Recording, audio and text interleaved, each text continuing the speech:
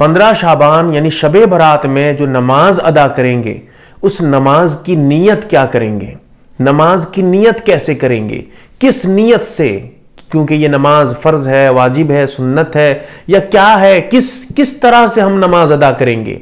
अब सबसे पहले हम समझते हैं कि नीयत करना क्या है। इन नमल आमालु बिन नियात बुखारी शरीफ की पहली रिवायत है, जिसमें अल्लाह के नबी सल्लल्लाहु अलैहि वसल्लम ने इरशाद फरमाया, नीयत के बगैर आपकी इबादतें नहीं हो सकती। जब तक आप नीयत नहीं करेंगे, वो काम आपका इबादत नहीं बनेगा। लिहाजा नियत करना आपके लिए निहायत ज़रूरी है। बगैर नियत के आपकी नमाज़ नहीं होगी।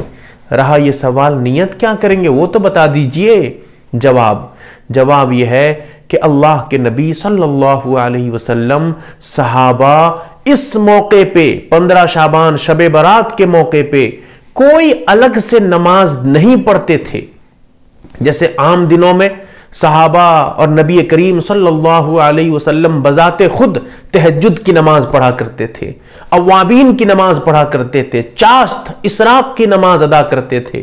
जब बारिश न होती थी तो इस्तिस्का की नमाज़ अदा करते थे। नमाज़ कुसूफ, नमाज़ खसूफ, चाँद ग्रहण, सूरज ग्रहण की नमाज़ अदा करते थे। इसी तरह जब ईदैन के मौका आते था ईद उल फित्र की नमाज़ ईद उल अजहा की नमाज़ अदा करते थे। जब रमजानुल मुबारक का महीना आता था तो तरावीह की नमाज़ अदा करते थे। लेकिन जब शब बारात आता था, जब जो है बारात की रात, पंद्रह शाबान की रात होती थी तो कोई नमाज़ अलग से अदा नहीं करते थे।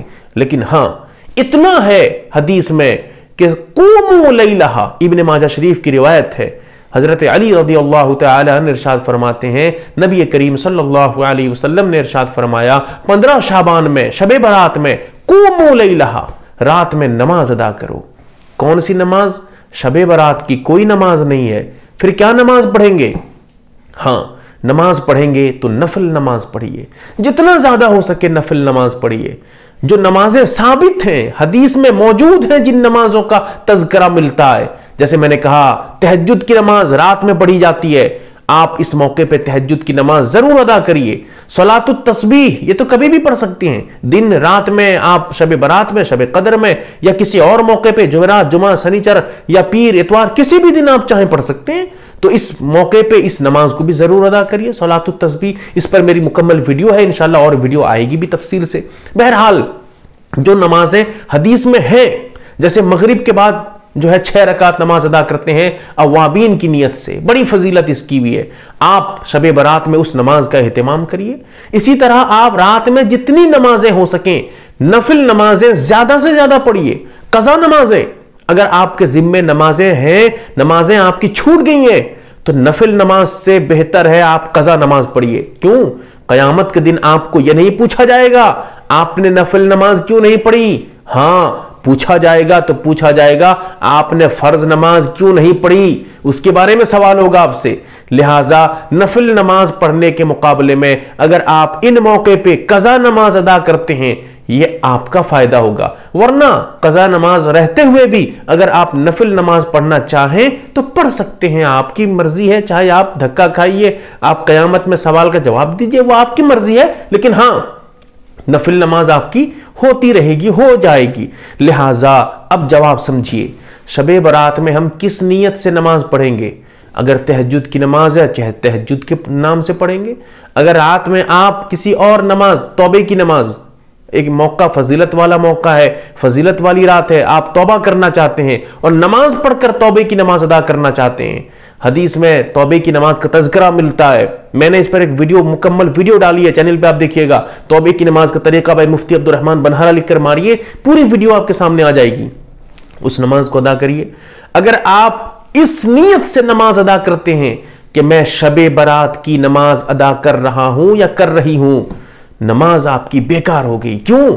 वो नमाज़ नहीं होगी, क्योंकि उस नाम से कोई नमाज़ नहीं है। आपने अपनी मर्ज़ी से एक नमाज़ को बना दिया, नमाज़ को आपने घड़ दिया है। अपनी मर्ज़ी से एक नमाज़ को आपने वजूद दे दिया है, जो शरीयत में नहीं है। लिहाजा आप इस हरकत से भी बचिए, क्योंकि इस मौके पे ऐसे आदमी की जो मुशाहिन हो, उसकी मगफिरत नहीं होती है, और मुशाहिन में यह आदमी भी दाखिल है।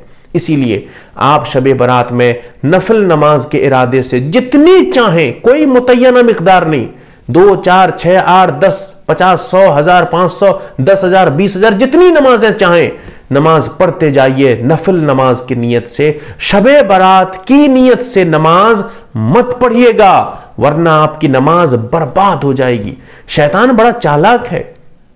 आपको कहेगा कि भाई, नमाज़ में क्या खराबी है? ये मुफ्ती साहब नमाज़ के लिए क्यों मना करते हैं? मैं आपको एक मिसाल देना चाहता हूँ, जरा गौर करिए मेरे भाइयों।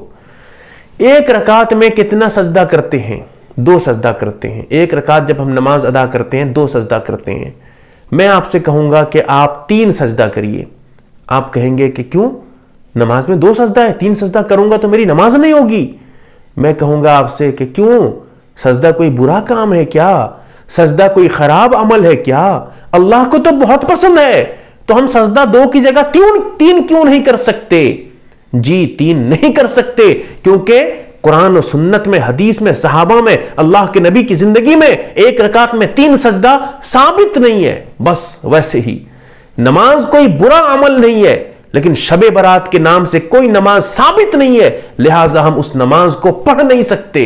कैसे पढ़ेंगे? हमारी नमाज़ ही नहीं होगी।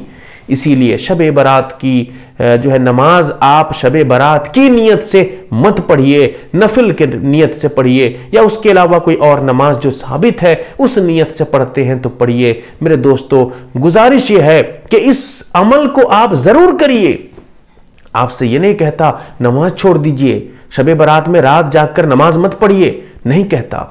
आपसे वही नमाज़ पढ़वाना चाहता हूँ, लेकिन नीयत दुरुस्त करा के शैतान को आपकी नमाज़ से दूर करके आपको उसी नमाज़ को अदा कराना चाहता हूँ। मेरे दोस्तों, अपने दोस्तों को, अपने अहलो अयाल को, अपने इस मुबारक मौके को गनीमत समझते हुए, अपने भाइयों को, अपने दोस्तों को ये पैगाम, ये वीडियो या इस मसले को आप अपनी ज़बान में ज़रूर बताएँ ताकि लोग नमाज़ पढ़ें तो सही नमाज़ उनकी हो सके शब बरात के मौके पे। अल्लाह ताला अमल की तौफीक दे।